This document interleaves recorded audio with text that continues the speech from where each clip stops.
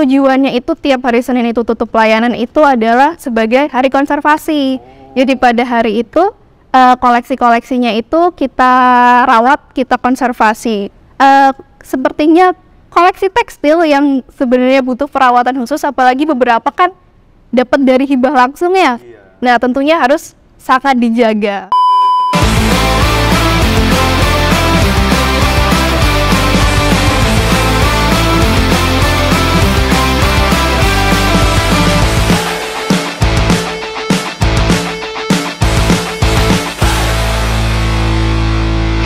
Halo sahabat Balikirti, berjumpa lagi di program Party, podcast Balikirti episode yang ketiga.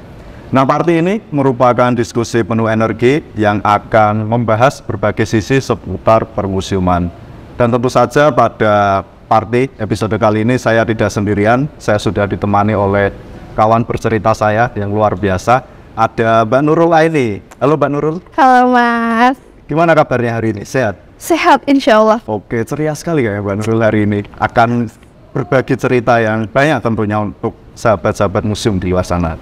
Oke Mbak Nurul, di Museum Kepresidenan RI Balai Kirti ini Mbak Nurul berprofesi sebagai di Museum Balai Kirti ini uh, saya berprofesi sebagai konservator museum. Sebagai konservator dan sudah berapa lama nih sebagai konservator di uh, sekitar setahun. Sekitar yeah. satu tahun ya, lumayan lah ya. Lumayan. Tentu sudah banyak hal yang Mbak Nurul lakukan ya yeah. sebagai konservator seperti itu. Kita mulai obrolan ini dari pertanyaan yang paling mendasar dulu nih Mbak Nurul. Kira-kira definisi konservasi atau konservator itu apa sih Mbak Nurul? Kemudian jobdesk Mbak Nurul ketika menjadi konservator di balik ini ngapain aja? Um, Oke, okay. jadi dari konservator dulu mungkin ya. Tadi kan saya bilang bahwa saya berprofesi sebagai konservator. Nah, konservator itu kan tugasnya itu melaksanakan konservasi ya. Iya. Nah, konservasi itu uh, semua kegiatan yang dilakukan di museum dengan tujuan untuk menjaga atau merawat dari koleksi-koleksi museum Mas Ivan. Okay. Nah, untuk uraian jabatannya um, dari konservator selama saya berada di Museum Balai Kirti itu tentunya tadi merawat uh, koleksi. Nah, merawat koleksi ini sebenarnya itu ada banyak luas gitu loh, Mas.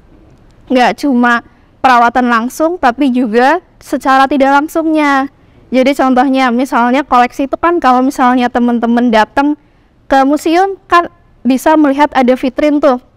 Nah jadi di um, Balai Kirti di museum itu selain kita merawat si koleksi ini kita juga menjaga lingkungan dari klaster-klaster tempat vitrin-vitrin dari koleksi tersebut. Uh, kurang lebihnya kayak gitu sih mas. Jadi kita ngerawat koleksi Oke, merawat koleksi ya. Poin pentingnya di bagian koleksinya. Iya, betul. Dan itu dilakukan secara rutin berkala atau ketika momen tertentu perawatan koleksi itu? Tentunya harus rutin ya, biar uh, tujuannya kan kita menjaga kondisi koleksi tetap baik ya. Jadi kan tentunya harus dilakukan secara rutin. Jadi kalau di museum itu Mas Ivan, kan kita itu tiap hari Senin ya. kita kan tutup dari layanan kunjungan ya. Nah, tujuannya itu tiap hari Senin itu tutup pelayanan itu adalah sebagai hari konservasi. Jadi pada hari itu uh, koleksi-koleksinya itu kita rawat, kita konservasi. Bagi yang sudah uh, layak untuk dikonservasi atau sudah cukup rusak gitu. Oke, kemudian faktor apa saja sih Mbak Nurul yang uh, mengharuskan kita untuk melakukan konservasi terhadap sebuah koleksi apa ketika wah ini koleksinya kayaknya kotor nih atau ketika koleksinya seperti apa? Faktor apa saja sih yang mengharuskan kita harus segera melakukan konservasi itu oke jadi uh, mungkin cerita dikit juga ya. Kalau kalau konservasi itu kan ada proses-prosesnya ya. Nggak mungkin kita tiba-tiba langsung oh kita pilih koleksi ini untuk dikonservasi. Tapi kan ada proses-prosesnya. Nah langkah pertama proses pertamanya itu ada yang namanya kita uh, memeriksa, mengobservasi atau mengidentifikasi. Jadi uh, koleksi-koleksinya itu kita identifikasi dulu nih, dia itu kerusakannya apa. Nah, identifikasinya itu dari fisiknya, kemudian dari uh, apakah dia ada kerusakan kimiawinya, kemudian ada dari sisi biologisnya gitu. Baru setelah itu, setelah udah diidentifikasi nih, kita bisa tahu apakah koleksi tersebut dia itu mengalami kerusakan ringan, sedang atau berat. Baru setelah itu kita tentukan nih perawatan atau penanganannya itu gimana. Baru setelah itu bisa dilakukan tindakan konservasinya berdasarkan tadi kerusakan-kerusakannya. Begitu. Oke, jadi memang harus diobservasi. Iya betul. Jadi harus diobservasi. Seperti itu.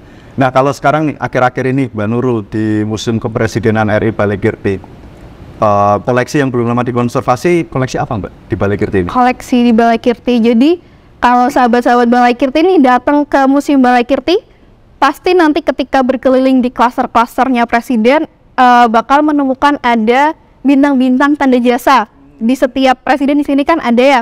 Nah, di sini kami eh, dari bulan Februari sampai Maret ini kami mengonservasi bintang-bintang jasa itu Mas Ivan. Jadi beberapa sudah kami konservasi, laksanakan konservasi. Itu bintang jasa semua presiden dikumpulkan atau per presiden modelnya? Eh, karena kan eh, bintang jasa tiap presiden itu kan ada yang sama ya. Jadi kita eh, yang kita lakukan itu per presidennya. Jadi kalau misalnya Soekarno kita laksanakan dulu nih eh, konservasi bintang jasanya Soekarno, kemudian selanjutnya Soeharto dan seterusnya sampai eh, Presiden Susilo Bambang Yudhoyono. Oke, sampai Presiden Susilo Bambang Yudhoyono. Karena tadi yang belum lama atau sedang dilakukan itu konservasi tentang bintang jasa, mungkin boleh diceritain sedikit dong Mbak Nurul, pembersihan koleksi bintang jasa itu seperti apa? Dilap kah? Dicuci kah? Oke, jadi sekilas-sekilas saja mungkin ya. Eh, bintang jasa ini kan kalau misalnya konservasi itu kan kita harus tahu bahannya itu apa. Nah, kalau bintang jasa ini dia itu bahannya logam. Nah, setelah diidentifikasi nih kita tahu kerusakannya itu eh, dari bintang-bintang jasa yang ada di Balai Kirti itu kerusakannya itu paling hanya kotor karena debu, kemudian ada bekas-bekas sidik jari gitu di belakangnya, di bagian belakangnya. Nah, dari situ akhirnya kami menentukan bahwa perawatan atau tindakan konservasi yang bisa dilakukan itu adalah pembersihan kita. Jadi kita kuas-kuas Mas Ivan. Kemudian itu pembersihan kering namanya. Kemudian selanjutnya kalau misalnya masih ada yang mungkin kurang dari si kuas-kuasnya itu, kuas-kuasnya itu kita laksanakan dilap pakai yang namanya kain majun dan juga aquades. Kain majun dan juga Mm-mm. aquades. Oke. Kemudian setelah itu eh, kita baru di namanya di coating atau dilaminasi kita gunakan wax. Kurang lebihnya kayak gitu konservasi untuk bintang-bintang jasanya. Itu membutuhkan waktu satu hari selesai atau berhari-hari malahan? Eh, kalau misalnya per cluster, misalnya per cluster itu kan kurang lebih ada beberapa ya 5 sampai 10. Bisa satu hari selesai tapi bisa juga kita bagi dalam beberapa hari. Oke. Nah, Mbak Nurul, karena ini kita Museum Kepresidenan RI Balikirti, tentu kita menyimpan koleksi-koleksi para presiden ya, mulai dari Presiden Soekarno sampai Presiden Susilo Bambang Yudhoyono. Ini koleksi-koleksi ini tentu memiliki nilai yang penting ya, baik secara historis, filosofis, dan lain sebagainya. Kira-kira ada nggak sih Mbak Nurul koleksi yang uh, memerlukan perlakuan khusus? Perlakuan khusus. Iya, dari para presiden kita ini kira-kira ada nggak nih koleksi yang memerlukan perlakuan khusus? Eh, seperti yang tadi Mas Ivan bilang ya bahwa ada banyak nilai-nilai historis yang dibawa oleh tiap-tiap koleksi ya. Nah, kalau misalnya sahabat Balai Kirti ini nonton episode 1 sama episode 2, pasti tahu bahwa di Balai Kirti ini ada sekitar 700-an koleksi. Betul ya? Nah, dari beberapa ratus koleksi ini ada koleksi berbahan kain. Nah, berbahan kain itu kalau sahabat Balai Kirti datang ke museum bakalan lihat ada pakaian, ada jas, ada baju wisuda dari SB dan lain sebagainya. Nah, koleksi-koleksi berbahan tekstil ini yang eh, butuh perawat, perawatan atau perlakuan khusus karena bahan-bahan yang dari tekstil itu mereka itu cukup rentan sebenarnya terhadap kerusakan. Kalau misalnya cahayanya nggak pas, dia bisa lama-lama pudar. Kalau misalnya temperatur atau suhu ruangannya tidak pas, kemudian apabila ada yang namanya kelembaban udara di ruangan itu juga tidak sesuai, juga dia bisa mudah mengalami kerusakan. Jadinya eh, sepertinya koleksi tekstil yang sebenarnya butuh perawatan khusus, apalagi beberapa kan dapat dari hibah langsung ya. Nah, tentunya harus sangat dijaga. Oke, berarti untuk koleksi berbahan dasar kain atau tekstil Iya, betul. perawatan khusus.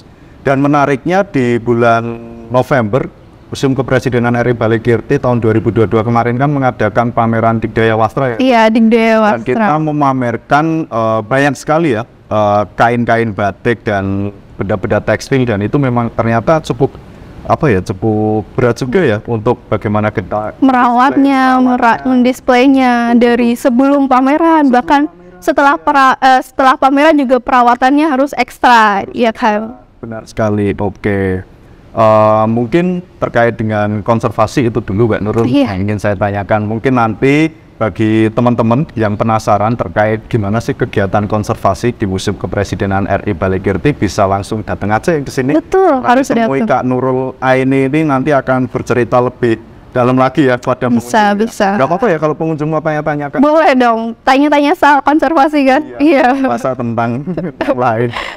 bisa, bisa, bisa. Oke, mungkin dari Mbak Nurul ada ajakan mungkin buat teman-teman sahabat Balikirti biar Ajakan. makin penasaran nih berkunjung ke museum ini nih.